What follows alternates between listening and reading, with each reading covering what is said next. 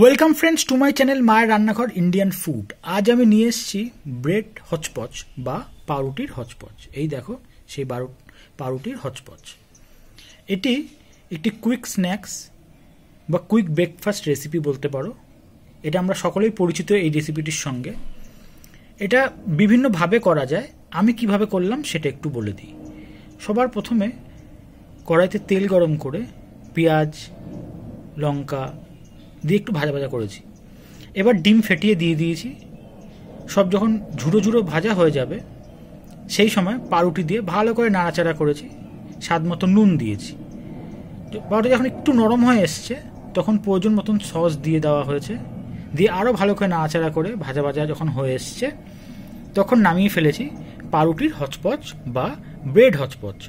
এটি quick snacks হিসাবে বা কুইক রেসিপি হিসাবে অসাধারণ টেস্টটি তোমরা আসলে এটা অনেকেই খেয়েছো।